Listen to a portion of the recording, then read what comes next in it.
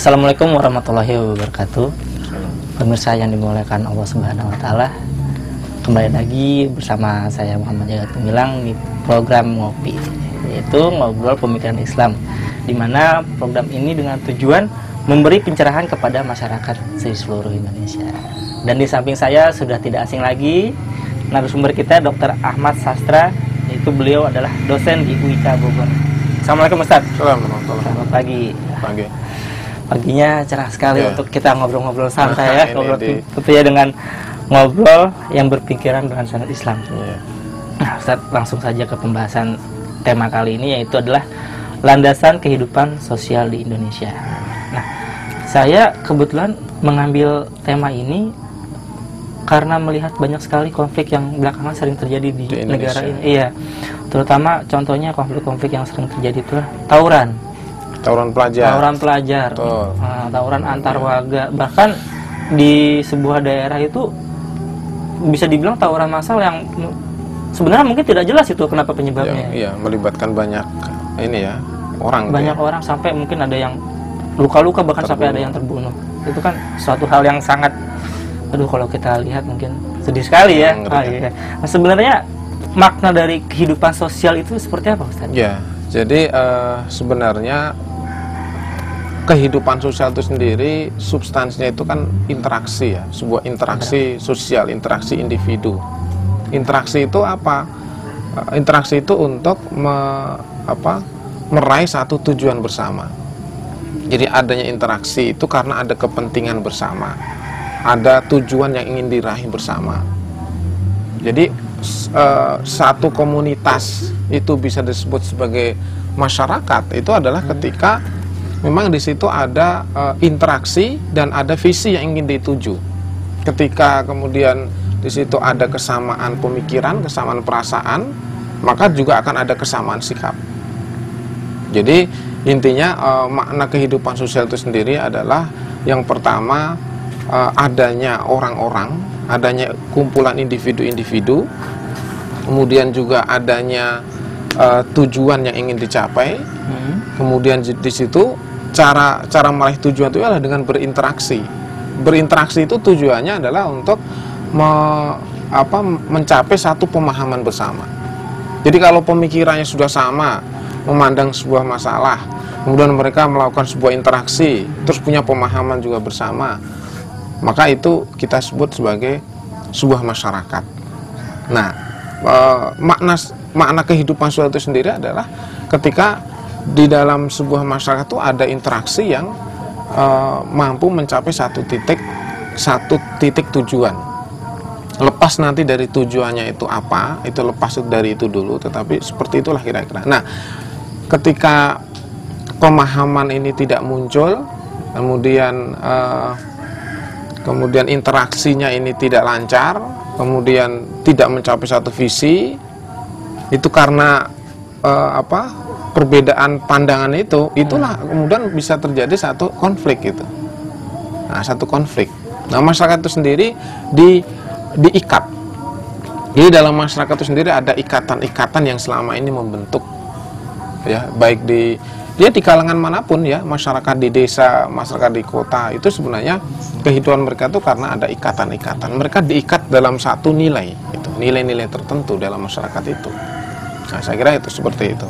Jadi mungkin kalau bisa kita tarik gini ya, ada interaksi yang masyarakat itu, tapi mungkin bisa dibilang ketika untuk mencapai satu titik tujuan yang tadi Ustaz bilang, itu ada miss di tengah perjalanan itu Ya, mungkin. eh, eh, ada kesalahan pemahaman, kesalahan pemahaman yang eh, salah paham gitu. Terus mengenai paradigma kehidupan sosial di Indonesia se- sekarang ini seperti apa? Nah, ini memang ini yang paling menarik. Kalau tadi kan saya sudah sebutkan bahwa di dalam kehidupan sosial itu memang tidak bisa dihindarkan dari ikatan-ikatan. Jadi semua manusia itu kan sebenarnya terikat kepada sebuah nilai. Nilai-nilai itulah mengikat eh, kehidupan masyarakat. Ya, biasanya kan di dalam masyarakat itu kan ada eh, apa nilai-nilai yang diyakini gitu. nilai-nilai yang diyakini dalam satu masyarakat tertentu meskipun itu tidak kelihatan ya nilai itu kan nggak kelihatan Iya. tetapi itu menjadi sebuah eh, apa ikatan seperti sopan santun di satu tempat di satu masyarakat dengan masyarakat yang lain itu bisa berbeda masyarakat Indonesia bicara sopan santun dengan masyarakat Barat tuh bisa berbeda. Mereka sebenarnya sedang ingin bicara tentang bagaimana berbuat sopan atau berbuat baik kepada sesama. Hmm. Nah ini di latar belakangi oleh sebuah nilai-nilai yang diyakininya. Mungkin di Papua sana dengan di Bogor ini Caranya beda-beda, ya, ya, caranya beda-beda. Cara memandang sebuah sebuah nilai tertentu itu menjadi sangat berbeda. Di antar daerah itu punya perbedaan pandangan-pandangan, nilai-nilai yang diyakini. Nah, nilai-nilai ini yang saya yakini eh, menjadi daya ikat terhadap masyarakat. Nah, di Indonesia ini sebenarnya kalau kita mau lebih eh, dalam lagi bahwa ikatan di Indonesia ini kan sebenarnya ikatan pertama adalah ikatan nasionalisme. Jadi di Indonesia ini kan sebenarnya konteks sosial kita itu kan diikat yang namanya nilai-nilai nasionalisme. Nah pertanyaannya apakah nilai nasionalisme ini nil, eh, sebuah ikatan yang baik apa yang tidak baik? Nah, sebelumnya Ustadz, Nah gitu. yang mendasari bisa timbul nasionalisme di Indonesia tuh biasanya ada dasar-dasar dulu. Ya, memang nasionalisme itu kan di di latar belakangi eh, adanya kondisi, kondisi emosional, kondisi emosi, kondisi mental. Kapan sih nasionalisme itu muncul? Dilihat dari sisi kondisi emosionalnya adalah ketika ada ancaman. Jadi nasionalisme itu muncul ketika satu masyarakat, satu komunitas itu merasakan adanya ancaman dari pihak luar Lain, iya, iya. gitu. Ketika ada ancaman dari pihak luar, maka komunitas itu kemudian e, membangun satu ikatan yang kuat untuk melawan ancaman tersebut, Hmm. gitu. Maka kita kalau kita menyebut nasionalisme itu biasanya di, dikaitkan juga dengan patriotisme. Kapan sih ini? Bagaimana makna di masyarakatnya adalah biasanya di, dikaitkan dengan adanya ancaman dari luar. Jadi kalau ketika kemarin itu ada problem sedikit ya, problem yang dari Malaysia itu, Hmm. Oh, iya. kemudian muncul uh, apa Rasa nasionalisme. rasa nasionalisme itu kan ya. ketika ada respon dari luar adanya bentuk-bentuk ancaman. Lepas nanti dari definisi ancaman itu sendiri seperti apa, lepas dari itu, tapi masyarakat itu sendiri memang memaknai bahwa ini adalah ancaman. Nah, ketika ancaman itu muncul, maka dorongan-dorongan emosional untuk untuk menyatukan langkah itu me- di situ otomatis juga muncul. Itu kalau dalam konteks negara namanya nasionalisme. Nah, ketika ancaman ini mulai hilang, maka ikatan nasionalisme juga mulai hilang. Jadi nasionalisme itu menjadi sangat eh, apa eh, tidak kuat, ikatan yang tidak kuat. Karena ikatan ini hanya akan muncul ketika terjadi sebuah ancaman atau Berarti- sesuatu dianggap ancaman. Kalau misalnya ikatan nasionalisme seluruh warga Indonesia, katakanlah Mm-mm, lebih besar lagi iya. warga Indonesia, itu sudah mulai pudar. Apakah ikatan sosial di Indonesia sendiri juga mempengaruhi itu, Ustaz? sangat mempengaruhi. Jadi kalau dulu itu, kenapa dulu itu kita masih membanggakan sejarah zaman dulu bahwa um, uh, bahwa negeri kita ini pernah bersatu padu. Iya. Itu kan ketika ada Belanda, Belanda menyerang, Jepang menyerang, negara-negara penjajah menyerang negeri kita. Maka di situ ada uh, kesepakatan untuk menyatukan langkah, ya kan persatuan Indonesia ketika ancaman itu hilang atau ancaman itu tidak disadari, maka pertanyaan sekarang kita adalah buktinya antar partai pun sudah tidak lagi bersatu sekarang Jadi ini. kita kita bicarakan partai, Eh, ya. kalau kita mau bicara partai, artinya yang yang kasat mata aja gitu. Yang terlihat jelas masyarakat. Iya kan, kalau dulu itu masyarakat Indonesia melawan penjajah sudah begitu kuat nasionalismenya, bersatunya ketika ancaman sudah hilang. Sekarang itu kan jangankan antar partai, di dalam satu partai aja masih juga gontok-gontokan. Masih juga saling sikut. Dan kita sebenarnya hari ini pun di di di dunia politik di negeri kita kan juga sudah nampak sekali carut marutnya perpecahan-perpecahan yang muncul. Padahal, tapi anehnya juga mereka juga mengatasnamakan nasionalisme. Kan Iya, aneh ini. Itu dia. Nah itu dia. Semua mengatasnamakan nasionalisme, tapi satu sisi mereka juga Carut marut carut kan, marut gitu. Jadi saling saling ini kan, saling konflik kan. Nah ini jadi eh, intinya bahwa nasionalisme itu sesungguhnya ikatan emosional yang yang sangat lemah, kalau ikatan yang lemah. Mungkin Ya seperti itu. pengal kalau bisa kita lihat hilangnya rasa nasionalisme Hmm. kemudian ikatan sosial di lingkungan masyarakat Indonesia sudah mulai memudar jadi balik lagi ke masa-masa mereka mungkin saya lihat memilih untuk ke dalam golongannya gitu maksudnya golongannya tuh seperti ya katakanlah antar penduduk aja gitu Ya, kan ya. antar atas ini bisa golongan RT sini Betul, golongan sini gitu betul. dan itu mungkin yang memicu konflik sering terjadi konflik belakangan itu mungkin karena itunya sudah hilang Ustaz. Iya, jadi sebenarnya nasionalisme itu kan kalau kita melihat dalam konteks negara, Iya. tapi fakta di lapangan itu ketika dalam konteks negara itu kemudian tidak ada ancaman, maka mereka mengkerucut. Hmm. Akhirnya mereka mengatakan apa? Apalagi sekarang ada yang namanya otonomi daerah. Otonomi daerah itu kan ada dua ada dua apa eh, mata runcing ya kan. Jadi bisa mengancam juga kan sebenarnya itu kan bahwa ketika satu daerah tertentu itu diberikan sebuah kewenangan yang lebih luas, maka mereka sendiri merasa bahwa pemerintah daerah itu merasa mereka yang punya hak kewenangan tinggi untuk mengatur Daerah daerahnya masing-masing, sendiri gitu. Sehingga ini sebenarnya juga mereka juga sebenarnya substansinya atas nama nasionalisme juga, tapi kemudian dipersempit menjadi daerah. Tapi itu dari dari eh, perasaan nasionalisme juga sama. Cuma lebih lebih sempit. Bukankah kalau kita lihat hari ini orang masyarakat Timur Timur kan juga atas nama nasionalisme Timur Timur Iya. sebenarnya.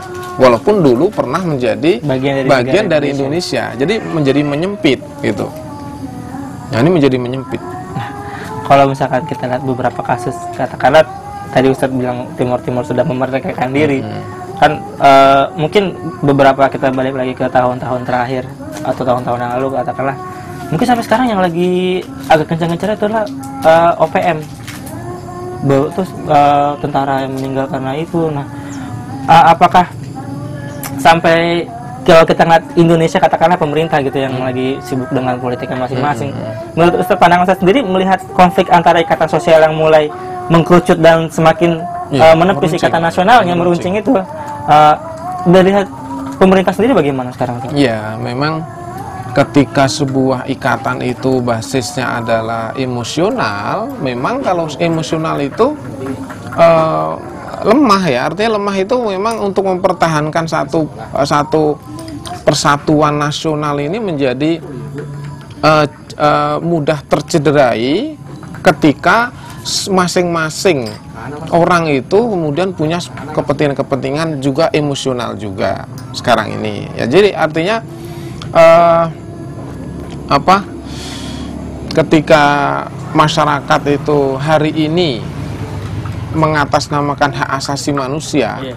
kan hak asasi manusia itu juga bagaimana orang itu memandang hak asasi manusia secara subjektif ketika satu masyarakat tertentu mengatakan bahwa hak asasi manusia kami untuk kami bisa mandiri kami bisa eh, apa atau mohon maaf ya untuk me- me- memisahkan diri dari Indonesia itu orang me- pemerintah pusat juga menjadi kes- kesulitan untuk me- mempererat ulang. Kenapa? Karena satu sisi sebagai hak asasi manusia hak asasi. Jadi merdeka berserikat itu kan menjadi hak asasi di Iya, negeri benar. kita ini.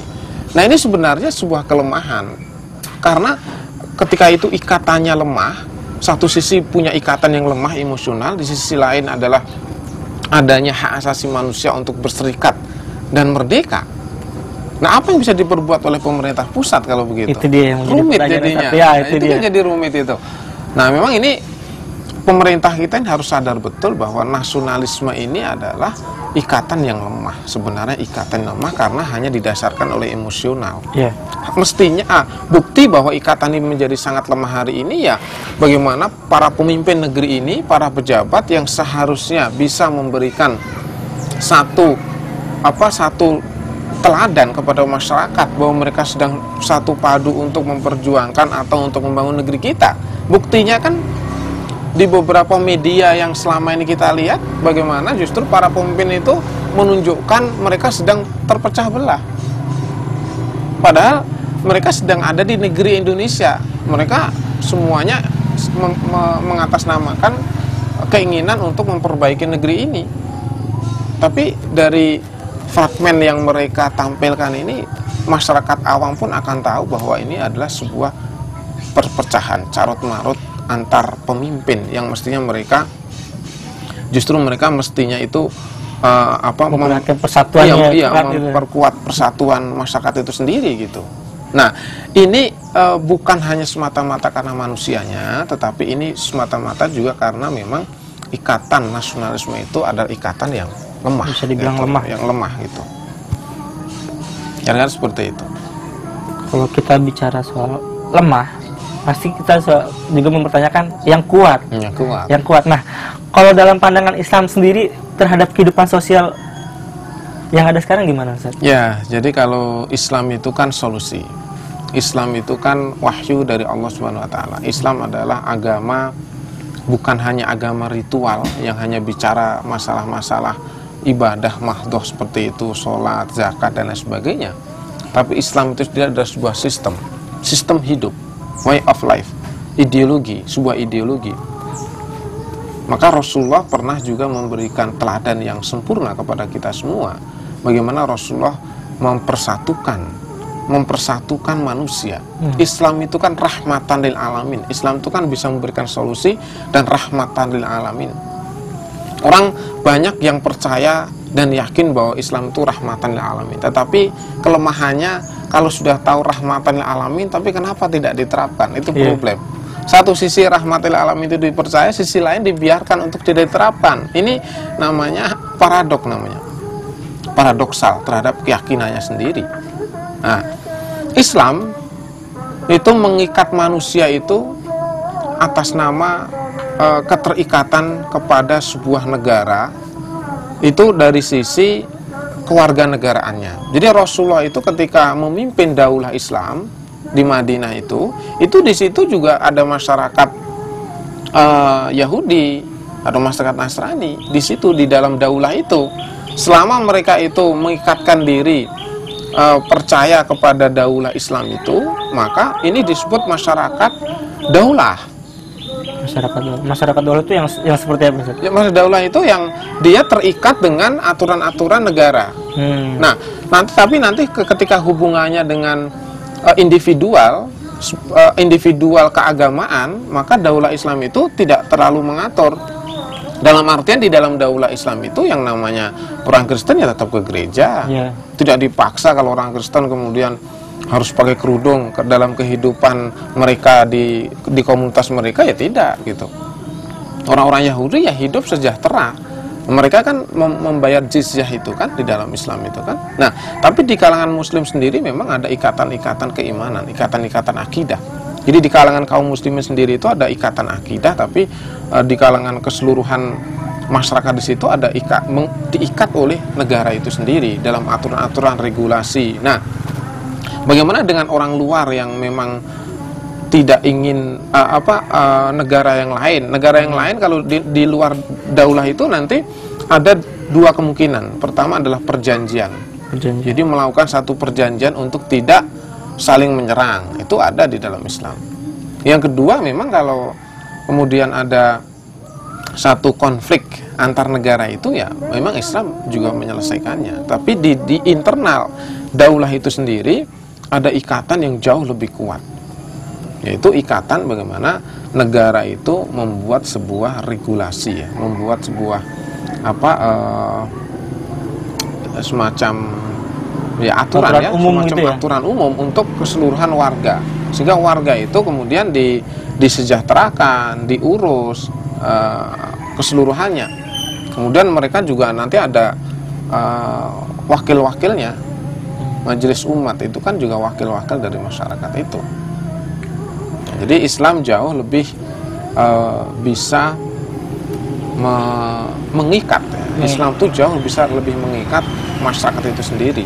Itu bisa disebutkan ikatan Islam dalam kehidupan sosial itu seharusnya bisa lebih lebih kuat. lebih kuat. Lebih kuat. Kan orang hari ini memandang bahwa ketika Islam itu ada di dalam satu uh, perundang-undangan di negeri ini seolah-olah nanti umat non muslim itu seolah-olah terpinggirkan padahal tidak hmm. sejarah membuktikan gitu jadi tidak ada diskriminasi di dalam Islam Islam itu rahmatan lil alamin gitu Islam itu justru memberikan kesejahteraan yang luar biasa kepada seluruh warga negara.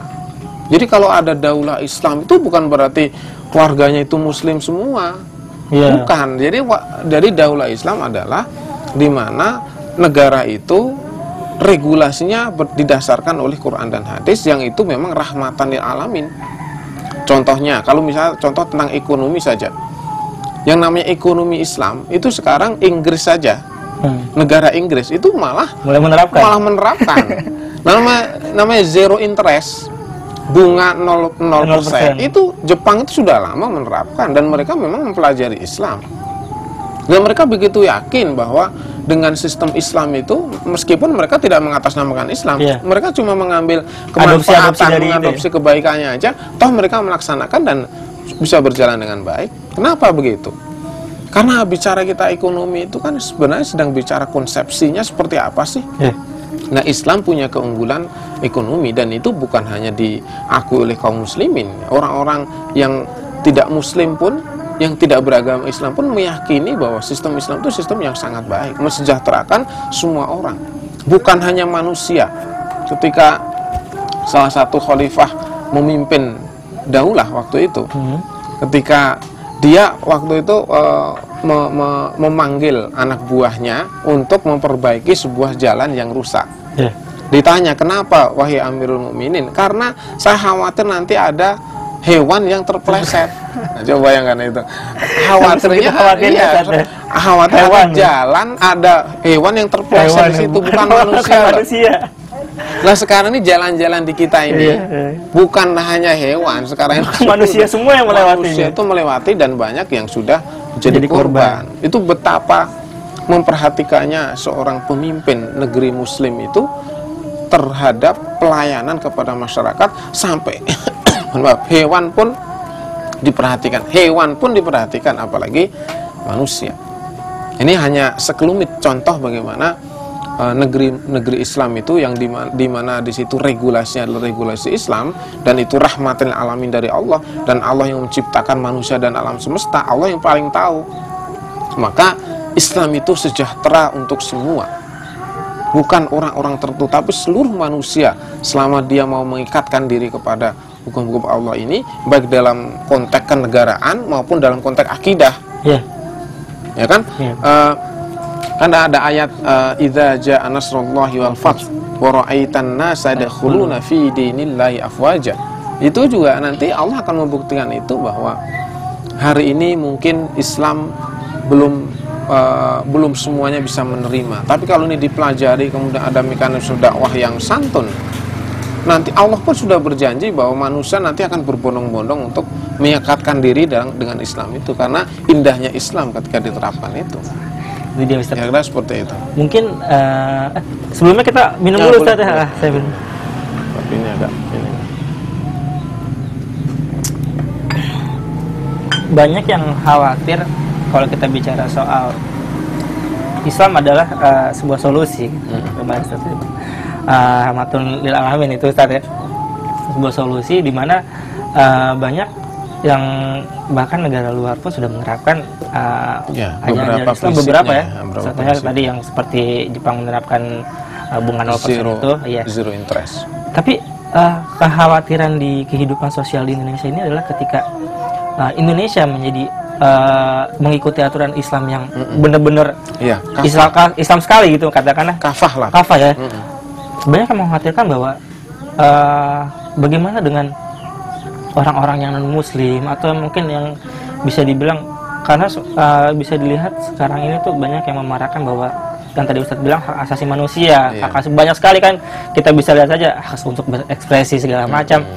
Itu mungkin eh, merasa khawatir orang-orang masyarakat Indonesia akan eh, pemikiran bahwa Islam itu mungkin eh, ah terlalu kuno takutnya nanti harus diperketat ini ajaran segala macam itu bagaimana menurut Ustadz? Ya, jadi itu memang pemahaman yang tidak benar ya bahwa kita kan yakin Islam itu rahmatan lil alamin. Tidak mungkin Allah itu menurunkan Islam sebagai agama terakhir kalau Islam itu tidak memberikan solusi. Karena Allah itulah yang menciptakan manusia. Meskipun ada manusia yang tidak terikat dengan Islam hari ini tidak beragama Islam, toh dia juga diciptakan oleh Allah Subhanahu wa taala, ya kan? Nah, Maka regulasi Islam itu sangat memahami manusia sesuai dengan fitrah, memuaskan akal, bahkan menenangkan hati Islam itu. Jadi Islam itu kalau diterapkan justru eh, menjadi eh, kehidupan masyarakat itu menjadi sejahtera. Sejahtera, Bagaimana tenang, dengan- nyaman, ya, bagaimana tidak? Kalau kita pelajari dari berbagai sisinya ya regulasi Islam itu ya iya. Eh, dari sisi ekonomi, sosial, budaya dan lain sebagainya itu memang Islam mengatur bagaimana manusia itu dihargai sebagai manusia. Kalau gitu sekarang kita bicara tentang bagaimana Islam mengatur kehidupan sosial. Ustaz. Mm-mm. Nah, bisa dijelaskan Iya, jadi eh, manusia dipandang sebagai manusia gitu. Manusia tidak ada dieksploitasi dalam Islam. Karena manusia itu begitu berharga, dia sebagai makhluk Allah, maka Islam itu sendiri juga menghargai. Nah, penghargaan terhadap manusia itulah dibuatlah sebuah regulasi yang eh, apa? eh, regulasi itu tujuannya adalah memanusiakan manusia itu sendiri, menghargai kemanusiaan, ya kan? Kemudian apa mengarahkan ekonomi untuk kesejahteraan, mengarahkan pendidikan untuk kebaikan, untuk eh, eh, pendidikan untuk membentuk sebuah kepribadian yang baik. Nah, sekarang kita sederhana saja. Kalau hari ini kita kemudian seolah-olah fobia terhadap Islam, menjadi pertanyaan mendasar. Apakah hari ini tujuan-tujuan mulia manusia itu bisa dicapai dengan kondisi hari ini? Ini pertanyaan saya. Sekarang manusia mana sih, agama mana sih manusia yang tidak punya keinginan-keinginan baik? Iya. Kan begitu. Itu kan memang fitrah kemanusiaan. Fitrah kemanusiaan itu kan mengatakan bahwa dia ingin sesuatu yang baik. Kalau baik itu kan universal. Baik itu kata-kata baik itu kan universal. Siapa sih manusia yang tidak ingin sebuah kebaikan? Gitu. Siapa sih manusia yang tidak ingin kesejahteraan? Siapa sih manusia yang tidak ingin ketenangan? Pertanyaannya hari ini kan kesejahteraan jauh sekali dari negeri kita. Keamanan jauh sekali dari negeri kita. Keamanan coba lihat ini.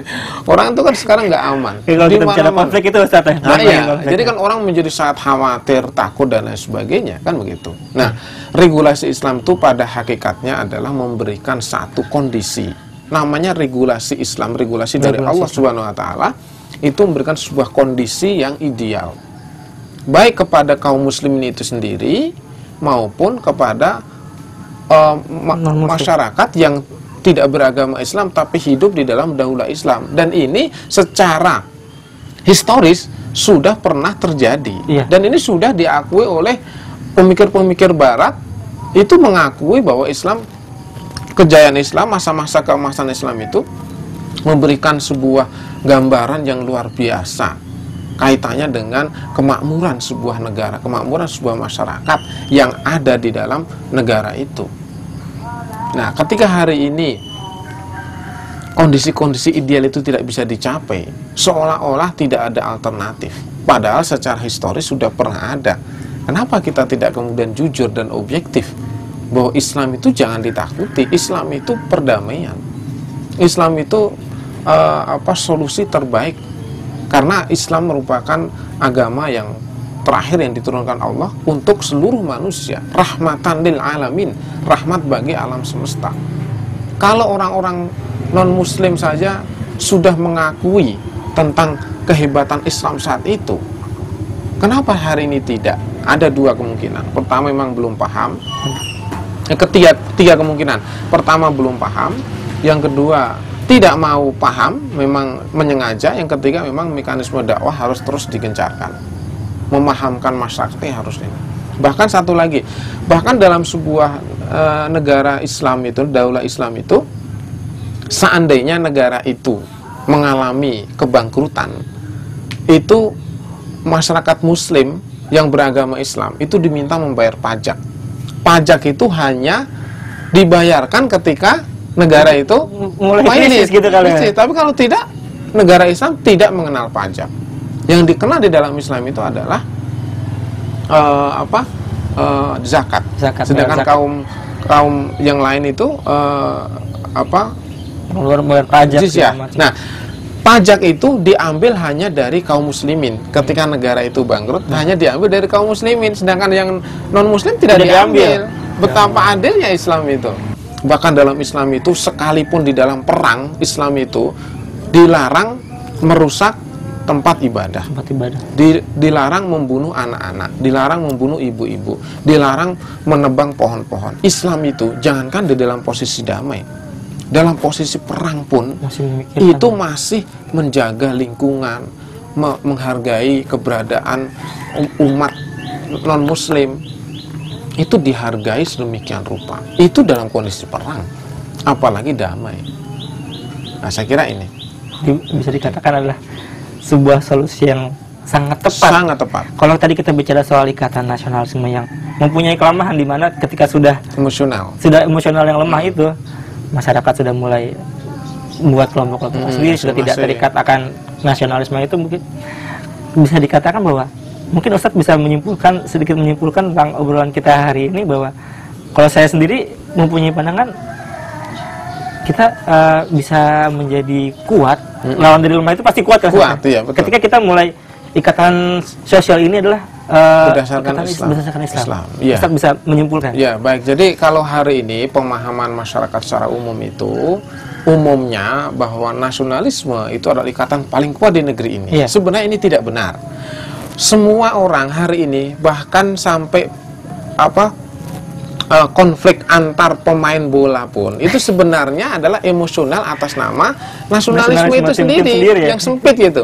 Sempit, sempit itu, men- semakin menyempit. Padahal mereka adalah warga negara yang sama. Nah, oleh sebab itu, Islam itu memandang manusia sebagai manusia yang utuh, manusia yang mulia. Sehingga siapa pun yang ada di dalam negara itu diberikan satu eh, perlakuan yang adil, perlakuan yang apa yang ya dimuliakan oleh negara itu dalam negara Islam itu dimuliakan sehingga ikatan-ikatan itu sendiri menjadi satu titik yaitu ikatan negara itu sendiri negara kemudian mengikat secara uh, Menyeluruh.